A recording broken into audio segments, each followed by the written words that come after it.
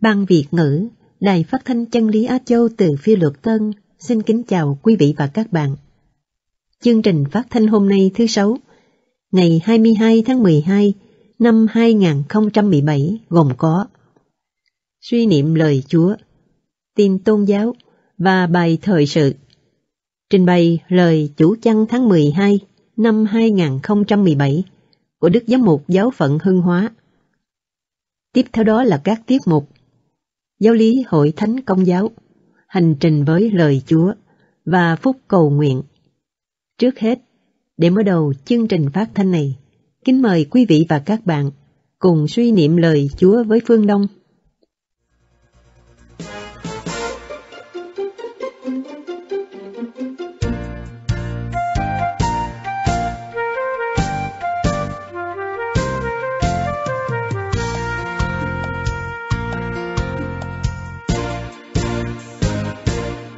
Linh hồn tôi tung hô chúa tung hô chúa à.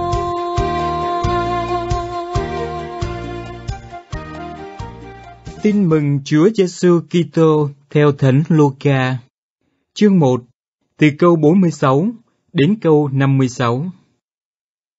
Khi ấy, Maria nói rằng, Linh hồn tôi ngợi khen Chúa, và thần trí tôi hoan hỷ trong Thiên Chúa, đấng cứu độ tôi. Vì Chúa đã đoái nhìn đến phận hèn tớ nữ của Chúa.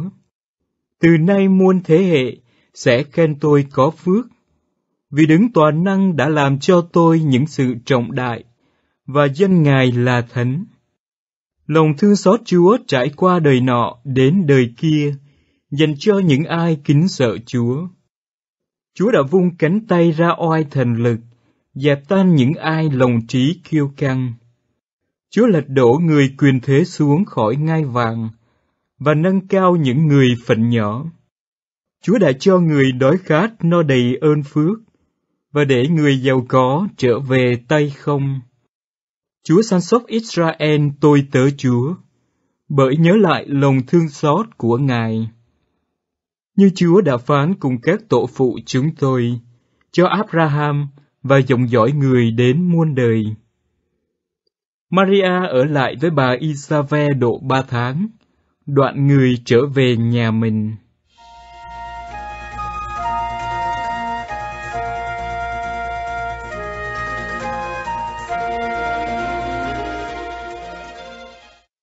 Quý ông bà và anh chị em thân mến! Ngay sau giây phút bà Elizabeth khen ngợi Đức Maria diễm phúc, Đức Maria với tâm hồn tràn ngập niềm vui bởi được Thiên Chúa đoái thương, đã kết lên lời ca Magnificat, chúc tụng và cảm tạ Thiên Chúa. Bài ca Magnificat chất chứa bao tâm tư suy ngẫm của biết bao con người hèn mọn trong suốt tiến trình lịch sử cứu độ. Magnificat như là lời tạ ơn, lời biểu lộ tình yêu thảo hiếu của một thụ tạo dâng lên Thiên Chúa, đấng hằng yêu thương và che chở. Mượn lời ca Magnificat, Đức Maria đã dâng lên Thiên Chúa niềm cảm mến tri ân vì bao việc lạ lùng Thiên Chúa đã thực hiện trên cuộc đời mẹ, cũng như bởi tình yêu cao vời mà Thiên Chúa dành cho con người. Khi chúc tụng lòng nhân hậu và trung tín của Thiên Chúa, cũng là lúc mẹ khẳng định công trình cứu chuộc loài người là kế hoạch của Thiên Chúa. Với lời kinh Magnificat, mẹ bày tỏ niềm xác tín này, đồng thời mẹ ý thức về thân phận của mình là nữ tỳ hèn mọn, nhưng được Thiên Chúa đoái thương. Những gì Thiên Chúa đã hứa, Ngài sẽ thực hiện. Thiên Chúa thực hiện không phải do con người xứng đáng, nhưng do bởi lòng thương xót của Ngài. Thiên Chúa yêu con người, Ngài yêu với tình yêu nhưng không. Tình yêu Chúa trải qua muôn thế hệ, và khi đến thời đến buổi, Thiên Chúa sai đấng thiên sai đến với con người. Thiên Chúa là tình yêu, Ngài yêu chúng ta theo cách của Ngài. Trong cuộc đời rất riêng của mỗi người chúng ta, Thiên Chúa luôn chiếu tỏ tình yêu Ngài trong đó.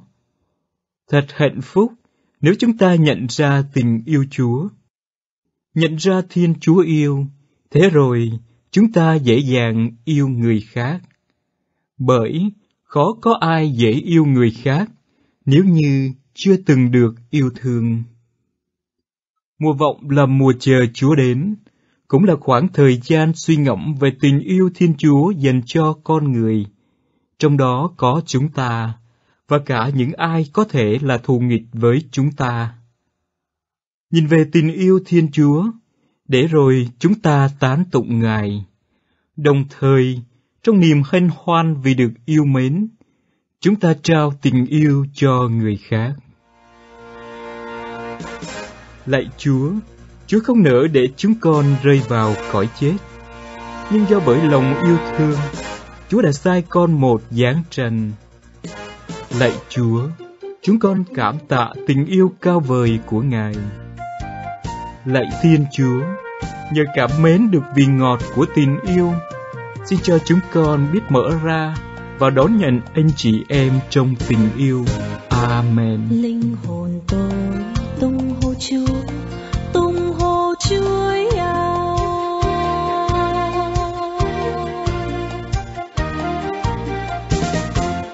Thân chí tôi mừng vui vời vợi trong đấng cứu chuộc tôi.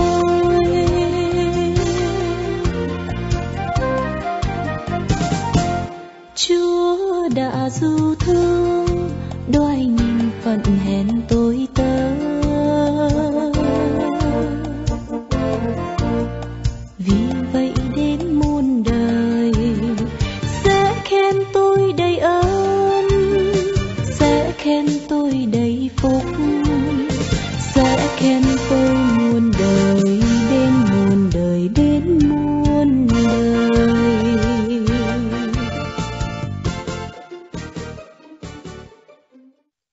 Vừa rồi là bài suy niệm lời Chúa. Tiếp theo đây, kính mời quý vị và các bạn theo dõi phần tin tôn giáo do Mai Hương trình bày. Tin Vatican Đức Thánh Cha khẳng định Thánh lễ dẫn đưa tín hữu bước vào cuộc gặp gỡ tình yêu với Thiên Chúa. Đức Thánh Cha Francisco đã nói như trên trong buổi gặp gỡ chung tín hữu và du khách hành hương sáng thứ tư hàng tuần 20 tháng 12 vừa qua tại Đại Thánh đường Phaolô Đệ Lục.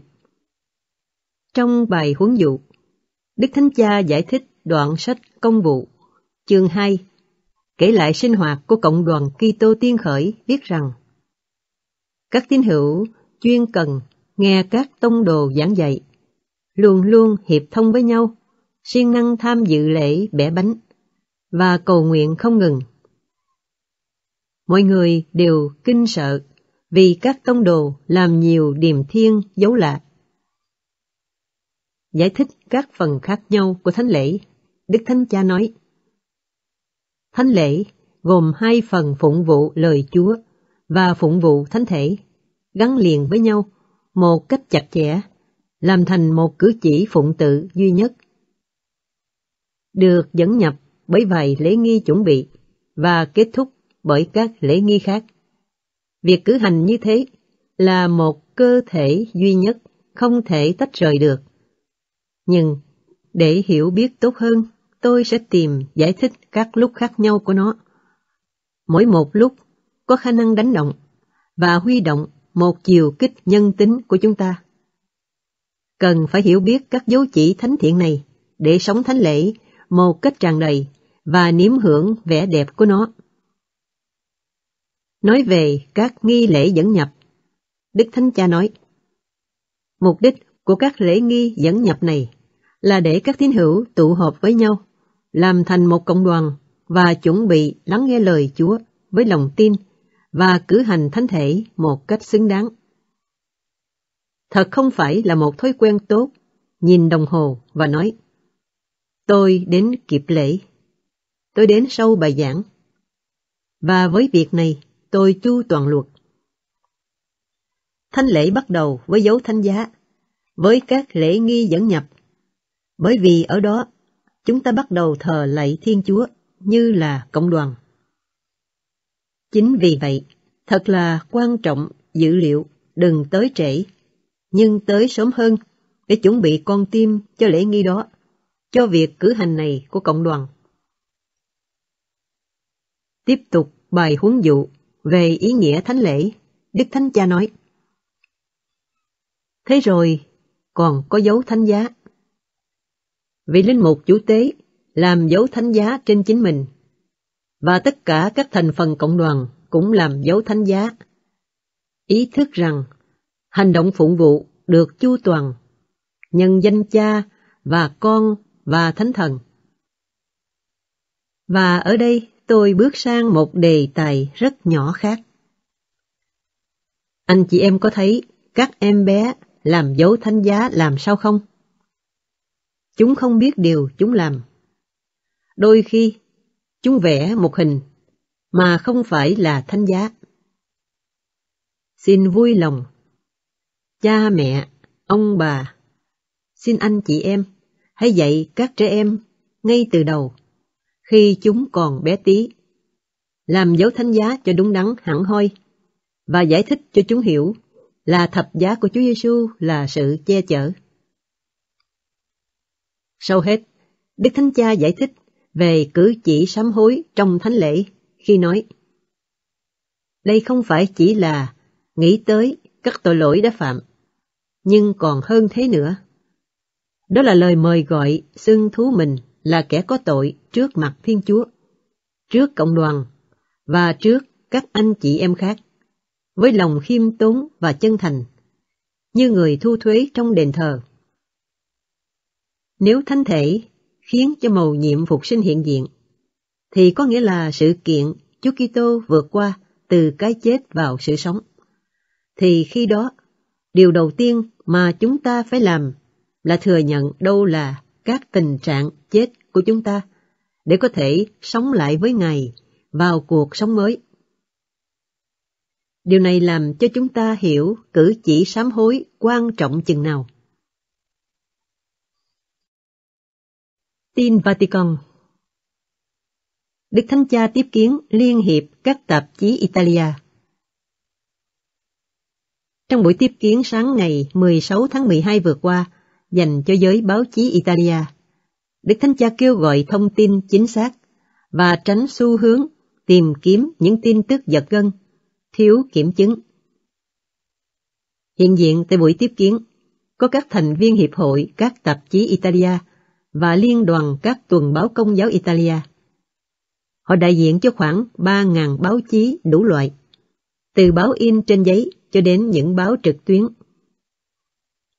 Lên tiếng trong buổi tiếp kiến, Đức Thánh Cha đề cao tầm quan trọng của các cơ quan thông tin này và sứ mạng quan trọng của các ký giả là thông tin chính xác, cống hiến cho mọi người những tin tức xác thực bao nhiêu có thể. Ngài nói, tiếng nói tự do và trách nhiệm của anh chị em là điều rất quan trọng cho sự tăng trưởng của bất kỳ xã hội nào muốn là dân chủ. Để đảm bảo một sự liên tục trao đổi các ý tưởng và thảo luận hữu ích dựa trên các dữ kiện có thật và được thuật lại chính xác. Đức Thánh Cha cũng nhận xét rằng, trong thời đại chúng ta thường bị lo lắng vì vận tốc, vì ước muốn truyền đi những tin giật gân, mà ít để ý đến sự chính xác và đầy đủ, bị cảm xúc hướng dẫn, thay vì những suy tư chín chắn. Người ta cảm thấy sự cần thiết của thông tin đáng tin cậy. Với những dữ kiện và tin tức được kiểm chứng, không nhắm gây ngạc nhiên và cảm xúc, nhưng chú ý làm tăng trưởng nơi các độc giả một ý thức lành mạnh phê bình, giúp họ đặt những câu hỏi thích hợp và đạt tới những kết luận có lý chứng. Đức Thánh Cha nhắc nhở các ký giả tránh những chiến dịch tuyên truyền leo lái thực tại và dư luận, tạo nên những hỏa mù báo chí vô ích. Cũng trong bài huấn dụ, Đức Thánh Cha nhắc đến liên đoàn các tuần báo công giáo Italia đang kỷ niệm 50 năm thành lập. ngày đề cao các tuần báo của các giáo phận, có thể là những dụng cụ hữu ích để loan báo tin mừng. Một môi trường trong đó đời sống của giáo phận có thể được diễn tả hữu hiệu, và các thành phần khác nhau của giáo hội có thể dễ dàng đối thoại và đã thông với nhau. Đức Thánh Cha nói, làm việc trong tuần báo giáo phận, có nghĩa là đồng cảm đặc biệt với giáo hội địa phương, sống sự gần gũi với dân chúng tại thành phố và các làng mạc, nhất là đọc các biến cố dưới ánh sáng tin mừng và giáo huấn của giáo hội. Những yếu tố này có thể là địa bàn hướng dẫn đặc biệt cách làm báo, thông truyền các tin tức và trình bày các ý kiến. Vừa rồi là phần tin tôn giáo. và đây kính mời quý vị và các bạn theo dõi bài thời sự do Phương Đông phụ trách.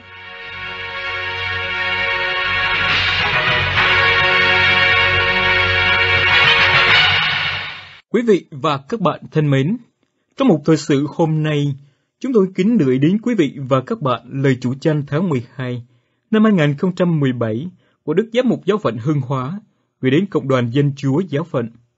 Toàn văn lời chủ tranh như sau. Anh chị em trong đại gia đình Giáo phận Hưng Hóa thân mến, Ngày 3 tháng 12 năm 2017, chúng ta cùng Hội Thánh Toàn cầu bước vào mùa vọng mới, khởi đầu năm phụng vụ 2017-2018.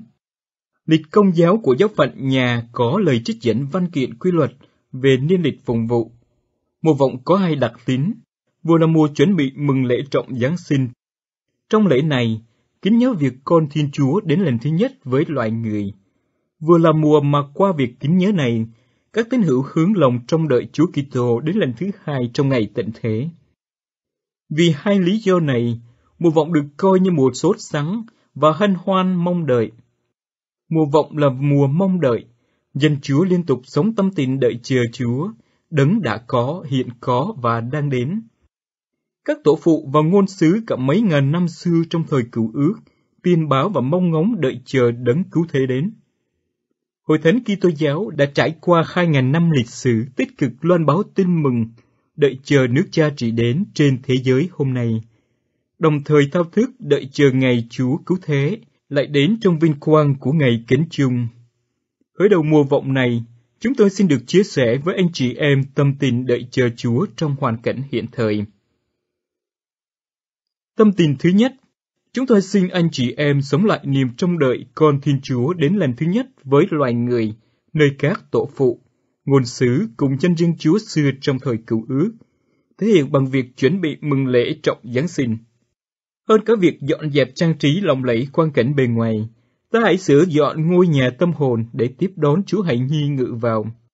Ta hãy tẩy trừ những đam mê tham vọng trần tục, hoán cải tâm hồn trở lại đơn sơ thanh bạch như hang đá mắng cỏ, nơi Chúa ưa thích ngự tới.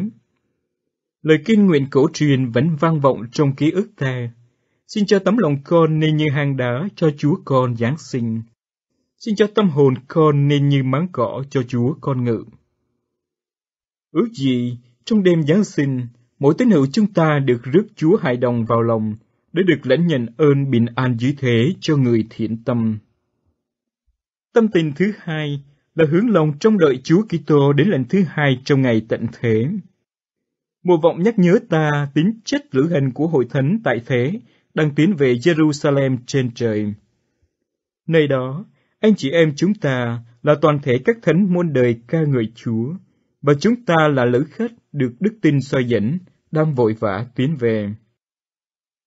Với cá nhân chúng ta, mỗi ngày qua đi là một bước ta tiến dần đến giờ chết. Ta đừng mãi mê những sự dưới trần thế là nơi tạm gửi, nhưng biết tận dụng thời giờ hiện tại để thu thích đem về đời sau những của cải không hư nát. Là chi thể của hội thánh lữ hành, mỗi người tích cực góp phần thi hành sứ mệnh Chúa trao, là mở rộng nước Chúa trên khắp cùng bờ cõi trái đất, để chống tới ngày viên mãn muôn dân muôn nước trở thành một đoàn chiên theo một Chúa chiên.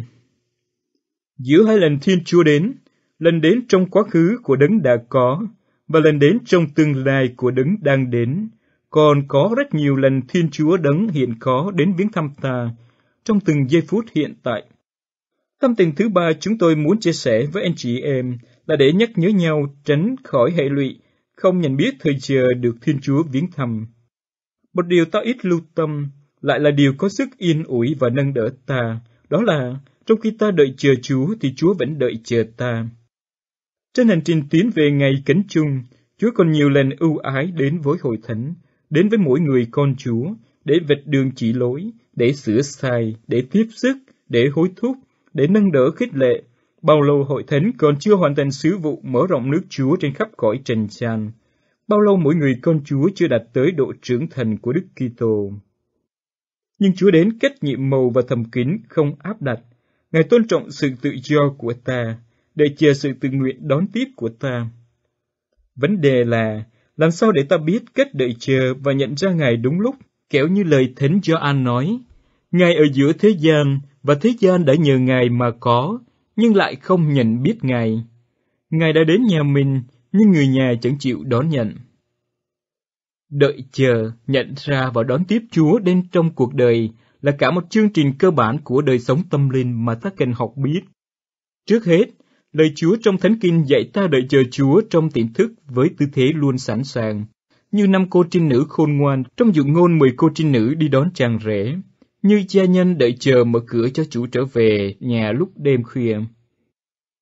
Rồi khi Chúa đến, làm sao ta nhận biết Ngài? Lời Chúa dạy bảo ta nhận ra Chúa qua các dấu chỉ, nhất là qua dấu chỉ bí tích, như hai môn đệ trên đường về Emau nhận ra Chúa khi bẻ bánh. Ta cũng nhận ra Chúa trong thân thế các đấng bậc đại diện hữu hình của Chúa trong hội thánh ở Trần Gian, như lời Đức Giêsu phán với các tông đồ. Như Chúa Cha đã sai Thầy, thì Thầy cũng sai anh em. Anh em tha tội cho ai, thì người ấy được tha. Anh em cầm giữ ai, thì người ấy bị cầm giữ. Nhưng ta cũng còn nhận ra Chúa qua thân thế anh chị em nghèo đói, mà ta gặp gỡ trong đời thường, như Chúa dạy ta trong dụ ngôn vụ xử án ngày trung thẩm. Sau nữa, ta còn nhận ra Chúa qua các biến cố xảy đến trong cuộc đời, như Gioan nhận ra Chúa trên bãi biển qua mẹ cá lạ lùng và nói với anh em tông đồ Chúa đó. Sau khi đợi chờ nhận ra Chúa đến, thì đến khâu đón tiếp Chúa. Phục vụ mùa vọng giới thiệu với ta hai mẫu gương sống. Gương mẫu thứ nhất là Đức Trinh Nữ Maria, với đặc ân vô nhiễm nguyên tội, lễ trọng cử hành trong mùa vọng. Mẹ đã dọn lòng xứng đáng đón tiếp ngôi lời nhập thể. Cùng với dân Chúa, mẹ hằng tha thiết đợi chờ đấng cứu thế đến cứu chuộc thế nhân. Khi nhận ra chương trình cứu độ do lời truyền tin của Tổng lãnh Thiên thần Gabriel, mẹ đã mau mắn đón tiếp ngôi lời Thiên Chúa bằng tiếng xin vâng trọn vẹn dân hiến suốt cả cuộc đời. Hàng ngày, mỗi lần đọc kinh truyền tin, ta hãy xin mẹ bầu cử cho ta được luôn luôn sẵn sàng đón nhận vâng theo thánh ý Chúa trong mọi hoàn cảnh thuận nghịch vui buồn, sướng khổ trong cuộc đời, để xứng đáng làm con cái thảo hiền của mẹ. Để mau mắn đón tiếp Chúa, ta còn cần sửa sang ngôi nhà tâm linh của ta cho ngăn nắp sạch đẹp sẵn sàng. Nhân vật được phụng vụ một vòng giới thiệu là mẫu gương thứ hai cho ta noi theo là Thánh Doan Tẩy Giả, xuất hiện trên đất Israel vào thời điểm quân chúng đang nóng bỏng đợi chờ đấng Messiah. Ông mang sứ mệnh dọn đường cho đấng cứu thế. Không những lời rao giảng mạnh mẽ của ông, mà cả hình ảnh con người lối sống khắc khẩu của ông. Mặc áo lông lạc đà, thắt lưng bằng dây già, ăn châu chấu và mật ong rừng, trong khung cảnh hoang địa, gửi lên hình ảnh vị tiền hô mà ngôn sứ Isaiah đã tuyên báo. Này ta sai sứ giả của ta đi trước mặt con, người sẽ dọn đường cho con. Ta hãy hiểu và thực hành theo bình diện tâm linh mệnh lệnh của vị tiền hô dọn đường. Hố sâu lấp cho đầy, gò cao phải bạt xuống, quanh co uốn cho ngay, gồ ghề san cho phẳng. Tâm hồn ta sẽ được sẵn sàng đón Đức Chúa. Anh chị em thân mến, trong quá khứ, Chúa Cứu Thế đã đến trong lịch sử cách đây hơn hai ngàn năm. Chúa sẽ lại đến trong tương lai vào ngày kến chung. Nhưng Chúa vẫn đến với ta trong từng giây phút hiện tại. Chúa vẫn đợi chờ ta tự nguyện mở lòng ra đón tiếp Ngài. Một vọng là thời gian thuận tiện để ta làm sống lại tâm tình đợi chờ Chúa, sửa dọn tâm hồn để có thể nhận ra Chúa và đón rước Chúa. Nguyện chúc anh chị em tín hữu trong cả giáo phận nhà đều gặp được cơ hội mùa vọng và mùa Giáng sinh này để đón rước Chúa đến với từng người và mỗi gia đình trong an bình tràn chứa niềm vui và hạnh phúc. Gioan Maria Vũ Tết giám mục giáo phận Hưng Hóa, An Phong Nguyễn Hữu Long, giám mục phụ tá. Quý vị và các bạn thân mến, vừa rồi là bài thời sự trình bày toàn văn lời chủ chăn tháng 12 năm 2017 của Đức Giám mục Giáo phận Hưng Hóa gửi đến Cộng đoàn Dân Chúa trong giáo phận. Mục thời sự hôm nay xin kết thúc nơi đây. Hẹn gặp lại quý vị và các bạn.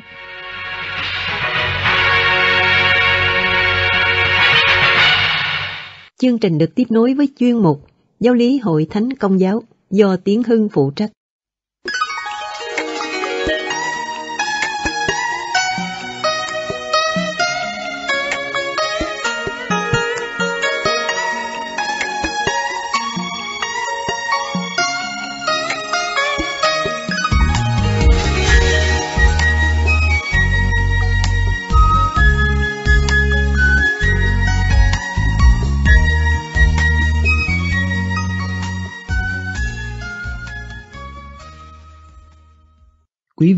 Và các bạn thân mến, trong bài tìm hiểu lần trước chúng ta đã nói về hình ảnh của Thiên Chúa nơi con người. Bài hôm nay chúng ta sẽ tìm hiểu về hạnh phúc theo cái nhìn của Kitô giáo. Chúng ta đang sống trong một thế giới mà đồng tiền có khả năng chi phối rất nhiều chuyện, từ công lý đến nhân phẩm. Người ta dựa vào tiền bạc để chèn ép lẫn nhau một cách rất nhẹ nhàng nhưng đau đớn. Điều đó dẫn đến quan niệm mập mờ rằng tiền bạc là thước đo của hạnh phúc. Hạnh phúc là có nhiều tiền, nhiều của. Đức Hồng Y Joan Henry Newman trong một diễn văn về sự thánh thiện nói rằng Ngày nay, người ta coi giàu sang là một vị thần vĩ đại và đông đảo quần chúng sùng bái tôn thờ vị thần đó người ta đo lường hạnh phúc bằng tài sản, danh dự cũng được đo bằng tài sản. Tất cả những điều đó xuất phát từ quan niệm có tiền mua tiên cũng được. Thật thế, tiền bạc là một trong những ngẫu tượng của thời đại. Bên cạnh đó, còn một ngẫu tượng nữa là danh vọng. Người ta muốn được mọi người biết đến, được tiếng tâm lừng lẫy khắp thế giới, được các phương tiện truyền thông nói đến danh vọng đã trở thành như điều thiện hảo tuyệt đối, điều thiện hảo tối thượng, đối tượng được người ta sùng bái tôn thờ. Tuy nhiên, những điều đó chỉ là một sự lập lờ, một sự đánh cháo khái niệm, một sự suy thoái về ý nghĩa của các giá trị căn bản. Đang khi đó, thật chớ trêu thay, ngay từ thuở ban đầu, Thiên Chúa dựng nên con người giống hình ảnh Ngài và ban cho họ tham dự vào hạnh phúc của Ngài. Nhưng con người đã từ chối nó và đi tìm một thứ hạnh phúc giả tạo khác cho riêng mình. Chính vì vậy, khi xuống thế làm người, Đức Giêsu đã tập trung loan giảng về các mối phúc và coi đó là trọng tâm trong sứ điệp và hành động của người. Đó chính là hạnh phúc đích thật của con người khi công bố các mối phúc, người lặp lại các lời Thiên Chúa hứa với dân tuyển chọn từ thời Abraham. Người kiện toàn những lời hứa này bằng cách hướng chúng về nước trời, chứ không còn là việc chiếm một vùng đất nào nữa. Hạnh phúc thay ai có tâm hồn nghèo khó, vì nước trời là của họ. Các mối phúc phản ánh dung mạo và đức ái của Chúa Giêsu Kitô chúng ta thấy ơn gọi của người tín hữu là được liên kết với vinh quang cuộc khổ nạn và phục sinh của người. Các mối phúc là những lời hứa có vẻ ngược đời, nhưng nâng đỡ niềm hy vọng khi con người gặp hoạn nạn. Chúng đã biểu hiện công khai trong đời sống của Đức Trinh Nữ Maria và các thánh. Con người mọi thời đại đều khao khát hạnh phúc đích thật. Các mối phúc đáp ứng khát vọng tự nhiên của con người là muốn được hạnh phúc. Khát vọng này bắt nguồn từ Thiên Chúa, người đã đặt nó trong tâm hồn con người để lôi kéo họ đến với Ngài. Đấng duy nhất có thể thỏa mãn khát vọng này chính là Thiên Chúa. Thánh Augustino đã nói, mọi người đều muốn sống hạnh phúc. Chẳng ai phủ nhận điều này dù họ không nói ra. Thánh Thomas Aquino cũng nói, chỉ có Chúa mới làm con người được no thỏa trọn vẹn. Các mối phúc cho thấy mục đích của đời sống con người là cùng đích của các hành vi nhân linh. Thật thế, Thiên Chúa kêu gọi chúng ta đến hưởng hạnh phúc của người. Ơn gọi này được ban cho từng cá nhân cũng như cho toàn thể hội thánh. Là dân mới của Thiên Chúa, gồm những kẻ đón nhận và sống lời hứa đó trong đức tin. Như vậy, đâu là hạnh phúc đích thực theo Kitô giáo? Kinh Thánh Tân Ước dùng nhiều hình ảnh để diễn tả hạnh phúc đích thật mà Thiên Chúa mời gọi con người đến hưởng, như nước Thiên Chúa, hưởng nhan Thánh Chúa, được vào hưởng niềm vui của Chúa, được an nghỉ trong Chúa. Quả thế, Thiên Chúa đã dựng nên chúng ta để nhận biết, phục vụ, yêu mến Ngài, nhờ đó được hưởng hạnh phúc thiên đàng. Hạnh phúc đích thật là được thông phần vào bản tính Thiên Chúa và sự sống đời đời.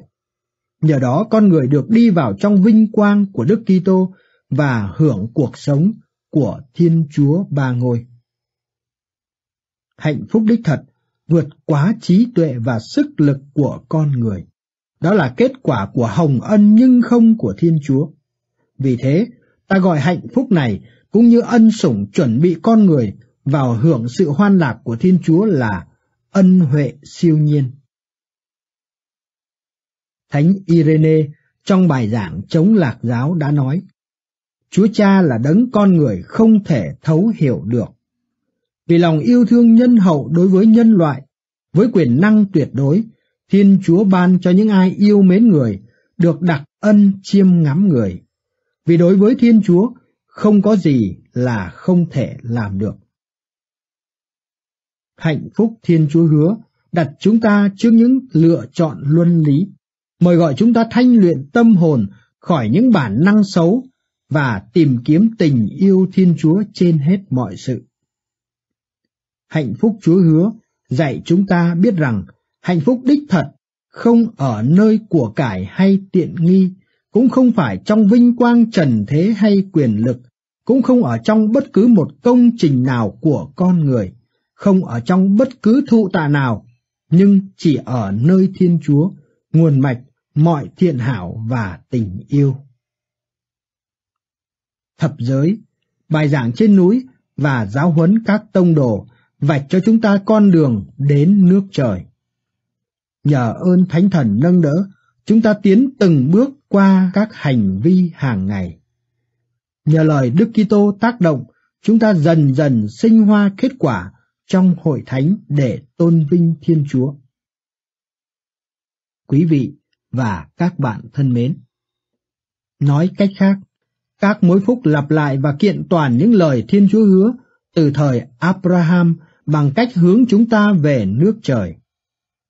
Chúng đáp ứng khát vọng sống hạnh phúc Thiên Chúa đặt trong tâm hồn con người. Các mối phúc cũng dạy chúng ta biết cùng đích mà Thiên Chúa mời gọi con người đạt tới là nước trời, là được thông phần bản tính Thiên Chúa, là sự sống đời đời, là ơn được làm nghĩa tử và được an nghỉ trong Thiên Chúa. Hạnh phúc được sống đời đời là hồng ân nhưng không của Thiên Chúa. Ta gọi hạnh phúc này cũng như ân sủng dẫn đưa chúng ta đến đó là ân huệ siêu nhiên. Các mối phúc đặt chúng ta trước những lựa chọn, trước những quyết định về những của cải trần thế, thanh luyện tâm hồn để chúng ta học biết yêu mến Thiên Chúa trên hết mọi sự. Hạnh phúc thiên đàng ấn định tiêu chuẩn để chúng ta nhận định cách sử dụng của cải trần thế sao cho phù hợp với luật của Thiên Chúa.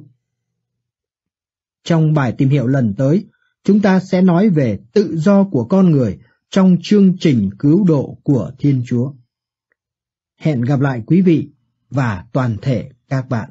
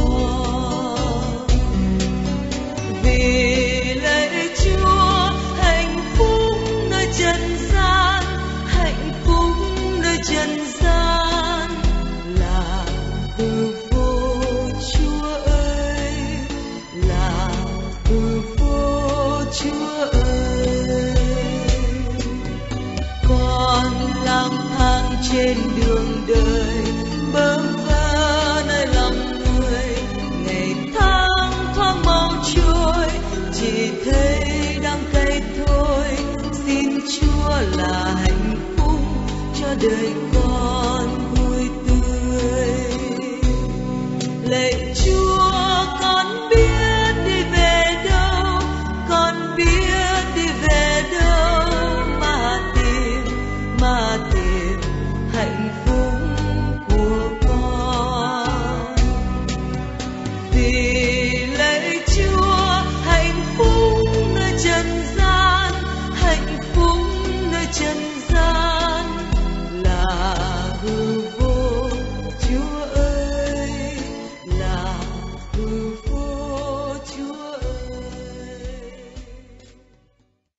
tục chương trình, kính mời quý vị và các bạn theo dõi chuyên mục Hành trình với lời Chúa do Đức Duy phụ trách.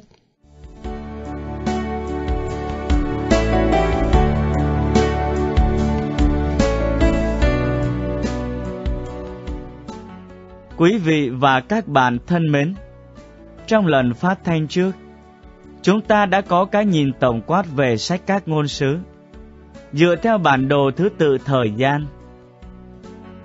Qua bản đồ này, chúng ta sẽ thấy được bối cảnh mà các ngôn sứ hoạt động. Hôm nay, Đức cha Phêrô sẽ giúp chúng ta tìm hiểu về ơn gọi ngôn sứ trong sách tiên tri Amos.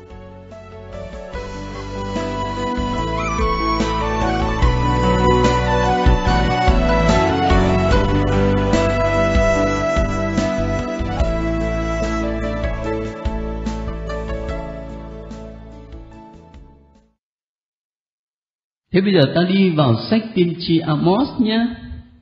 Hoạt động ở dưới thời vua Jeroboam.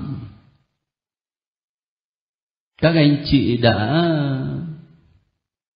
không những đọc mà còn chia sẻ với nhau ngày hôm nay về tiên tri Amos rồi.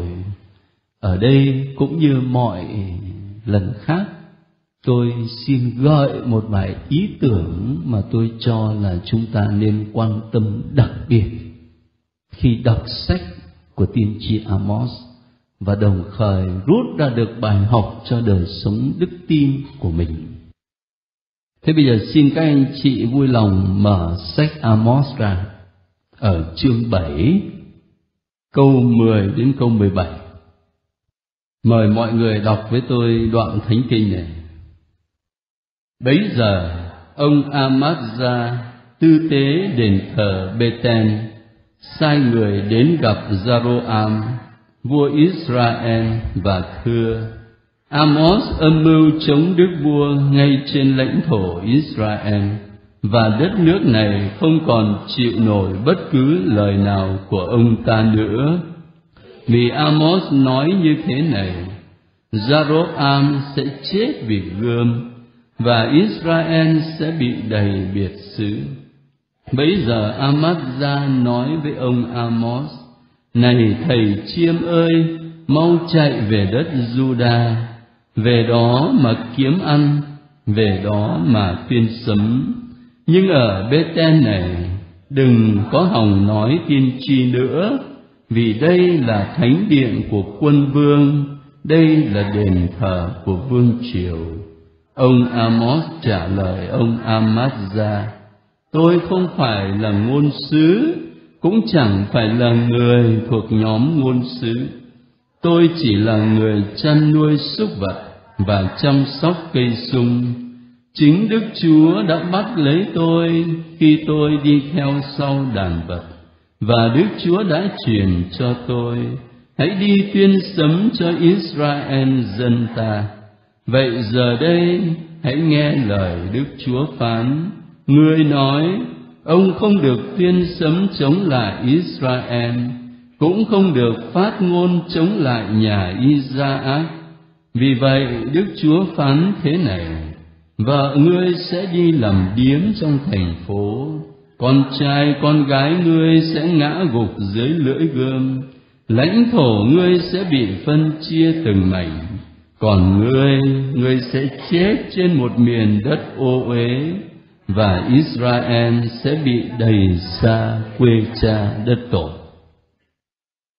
Chúng ta lấy đoạn thánh kinh này làm điểm tựa để suy nghĩ về ơn gọi tiên tri, ơn gọi ngôn sứ. Không biết các anh chị có nhớ cái bối cảnh, bối cảnh lịch sử, bối cảnh xã hội lúc bây giờ mà tiên tri Amos có mặt và hoạt động. Chúng ta nhớ lúc mà đất nước Israel còn thống nhất đó, thì chỉ có một đền thờ duy nhất mà vua Salomon xây ở đâu? Ở Jerusalem. Nhưng mà đến thời con của vua Salomon, đất nước bị chia cách thành hai miền Nam Bắc. Thế thì lúc bấy giờ ở miền Nam đó, ông vua ông ấy sợ dân chúng là cứ bỏ miền Nam mà đi hành hương đền thờ Jerusalem ở miền Bắc. Cho nên ông mới quyết định làm một nơi thờ tự ở ở Bethel. Để cho người ta không đi Jerusalem nữa, người ta cứ ở Bethel làm việc thờ phượng Chúa là được rồi. Thế thì nơi mà người ta làm việc thờ phượng Chúa thì cũng có tiên tri, cũng có ngôn sứ, đó là ông Amatza Thế nhưng bấy giờ tiên tri Amos xuất hiện và Ngài nói những sấm ngôn của Chúa để lên án Israel mà người ta nghe chói tai lắm, người ta chịu không nổi. Và cả cái ông tư tế ông ngôn sứ Amazia này này, ông ấy cũng đứng lên tố cáo tiên tri Amos nữa. Thế thì cái điều mà tôi muốn các anh chị quan tâm ở đây này,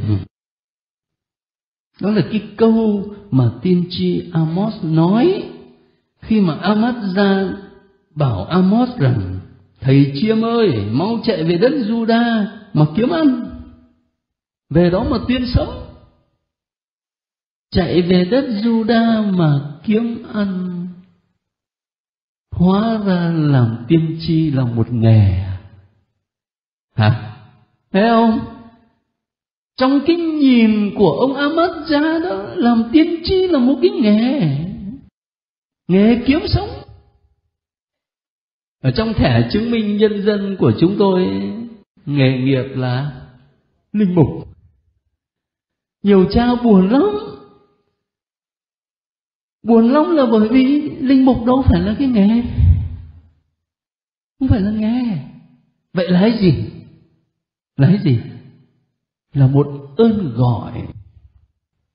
Tiên tri Amos trả lời cho Amazia rất hay ở câu 15 tôi chỉ là người chăn nuôi súc vật và chăm sóc cây sung.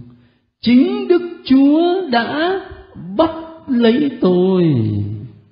Khi tôi đi theo sau đàn vật và đức chúa đã truyền cho tôi, hãy đi tuyên sấn cho israel dân ta chính đức chúa bắt lấy tôi. Chính đức chúa chộp lấy tôi. Có cha nói đùa là chính đức chúa chịt cổ tôi.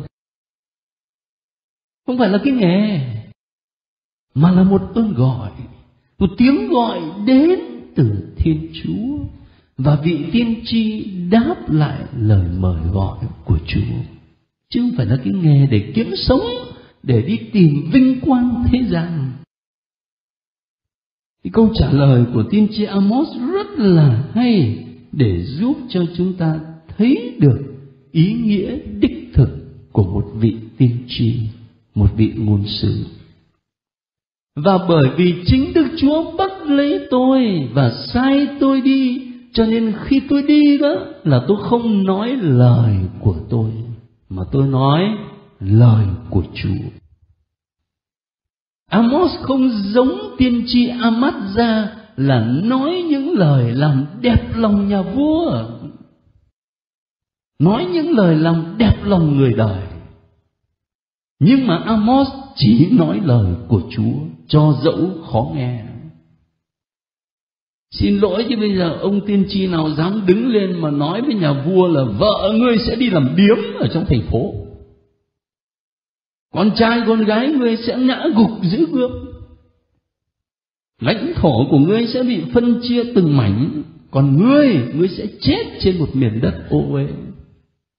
Hỏi rằng ai dám nói ngày hôm nay những câu như vậy?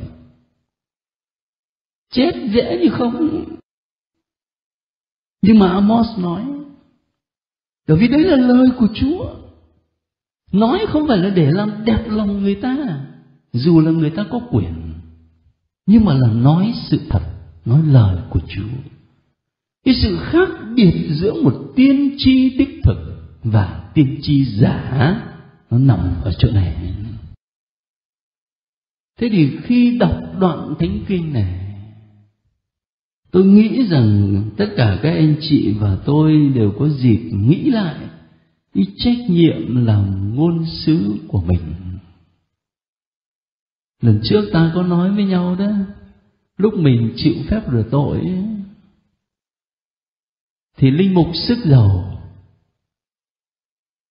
Chúa Giêsu được gọi là đấng Kitô, và Kitô có nghĩa là đấng được sức giàu. Khi ta chịu phép rửa tội thì linh mục cũng sức giàu cho ta sau khi đổ nước. Và cùng với việc sức giàu đó thì linh mục nói rằng là ta đã thuộc về Chúa Kitô thì ta chia sẻ cái chức năng của Ngài là tư tế này, là ngôn sứ, là vương đế. Cho nên một trong ba chức năng mà chúng ta chia sẻ với Chúa Kitô là làm tiên tri, làm ngôn sứ. Vậy thì mình thi hành cái chức năng ngôn sứ đó như thế nào? Những cái lời nói của mình á, nhắm cái gì? Mình nhắm làm đẹp lòng người đời hay là làm đẹp lòng Chúa? mình nhắm làm cho người ta vui tai hay là mình truyền thông chân lý phúc âm nói một cách nó gần gũi và nó cụ thể hơn này. Bây giờ các anh chị là những người sống đời gia đình, là các bậc cha mẹ. Thế thì trong việc giáo dục con cái đó, khi các anh chị dạy dỗ con cái đó, là mình nhắm cái gì? Là mình nhắm làm cho con cái nó được vui lòng, thỏa mãn những sở thích của nó, hay là mình giúp cho nó sống theo lời của Chúa? Trả lời được câu hỏi này cũng khó đấy chứ đâu có dễ Rồi ngay cả trong cái quan hệ bạn bè, trong cuộc sống hàng ngày của chúng ta cũng thế. Nếu mà đặt câu hỏi này ra, mình giúp nhau cái gì? Thành thử ra không có nói chuyện gì xa xôi, mà những gì rất bình thường trong cuộc sống hàng ngày, ta suy nghĩ về cái chức năng ngôn sứ của mình cho nên là cái điểm lớn thứ nhất mà tôi xin các anh chị suy niệm với tôi dựa vào sách Amos, đó là ơn gọi ngôn sứ.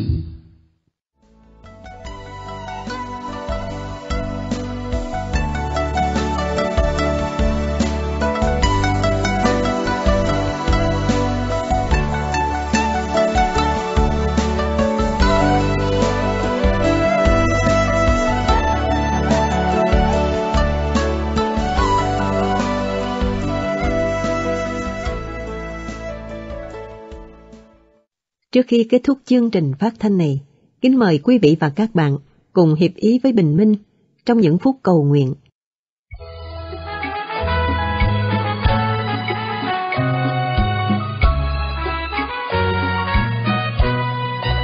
dòng đời trôi bao tháng năm qua rồi chuyện buồn chuyện vui cho tôi mãi mong chờ thầm chờ mong không biết đến bao giờ được gặp Giêsu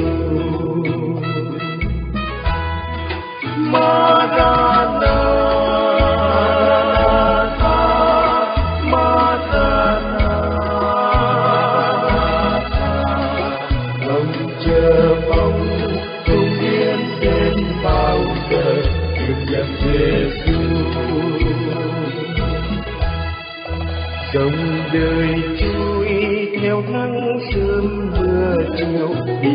tìm xa. Thế như vẫn yêu yêu rồi ngày nào tôi sẽ yêu thương nhiều. Khi gặp Giêsu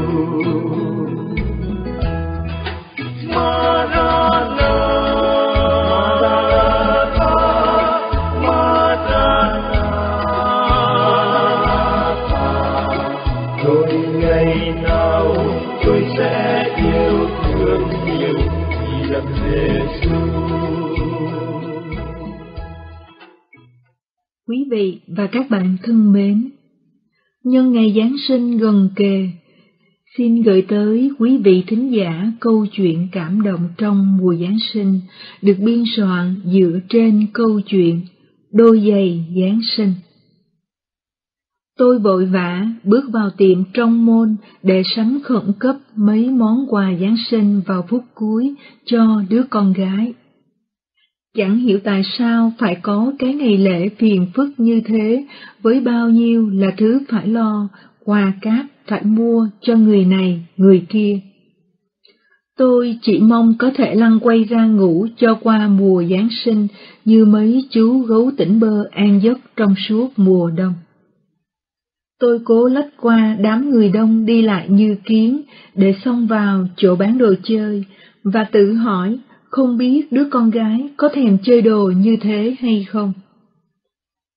Tôi dạo qua mấy dãy hàng bán đồ chơi và chọn đại một con búp bê nhìn cũng xinh xắn. Sau đó chạy lẹ ra xếp hàng tính tiền. Tình cờ tôi nhìn thấy một chú bé độ bảy tuổi đứng gần đó, tay mân mê một đôi hài màu đỏ xinh xắn thật dễ thương. Chú bé ôm đôi giày trên hai tay với gương mặt sáng rỡ. Qua mẫu đối thoại giữa chú bé và người tính tiền, tôi hiểu chú bé muốn mua nhưng không có đủ tiền. Chú cứ đứng nhìn đôi hài với đôi mắt buồn bã. Quan sát một lúc, tôi hỏi, cháu mua đôi hài cho em gái của cháu à? Cậu bé thưa, dạ không, cháu mua cho mẹ của cháu. Mẹ cháu bị bệnh rất nặng và ba cháu nói mẹ sắp đi gặp Chúa Giêsu. Đôi hài này mẹ cháu thích lâu rồi. Cháu muốn mua cho mẹ để mẹ mang đi gặp Chúa Giêsu. Mẹ sẽ đẹp lắm, sẽ vui lắm. Nghe đến đây, tôi mới hiểu ra là mẹ của cậu bé đang hấp hối nhưng cậu ta còn quá nhỏ để hiểu chuyện tử biệt. Và một nỗi đau xót tràn vào tâm hồn tôi. Nhìn chú bé tiêu nghỉu, cúi đầu im lặng. Tôi thò tay vào túi lấy tiền trao cho cậu bé và nói. Tiền đây, cháu lấy đi trả tiền rồi về lo với mẹ, đôi hài đẹp lắm. Khuôn mặt cậu bé chợt tươi rói và nói, Vâng, cháu cảm ơn chú rất nhiều, Chúa sẽ chúc lành cho lòng tốt của Chúa. Mẹ cháu sẽ vui lắm khi mang đôi giày này đi gặp Chúa Giêsu. Tôi bước ra cửa tiệm. Trên đường lái xe về nhà, tôi vẫn còn nhìn thấy gương mặt ngây thơ của chú bé đáng thương. Tình yêu của chú bé dành cho mẹ quá mãnh liệt. Như một thiên thần Chúa gửi, cậu bé đã nhắc nhở cho tôi ý nghĩa của Giáng sinh, mùa của sự yêu thương và ban tặng. Lạy Chúa, xin cho chúng con một trái tim nhạy cảm để có thể nghe được, cảm nhận được những niềm đau, nỗi khổ của những người bé nhỏ xung quanh, để chúng con biết chia sẻ với những người kém may mắn.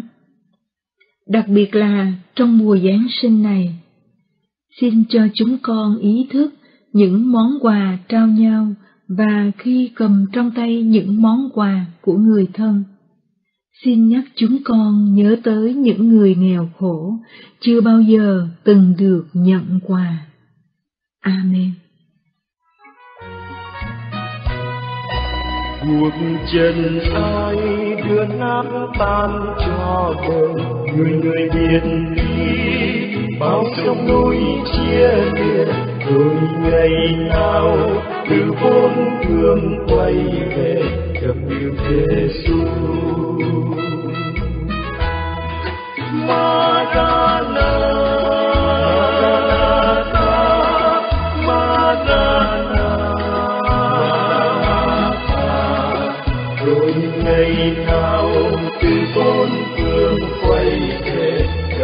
gặp được Giêsu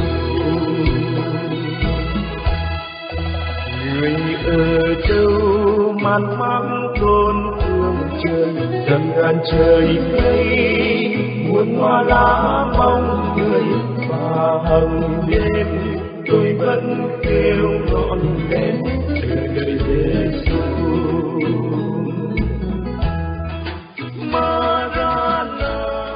Chương trình phát thanh 8 giờ 30 phút sáng nay xin được phép kết thúc nơi đây.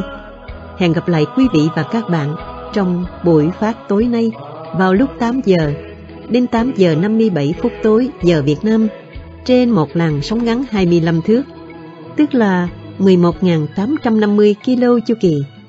Xin Thiên Chúa bàn muôn ơn lành cho quý vị và các bạn.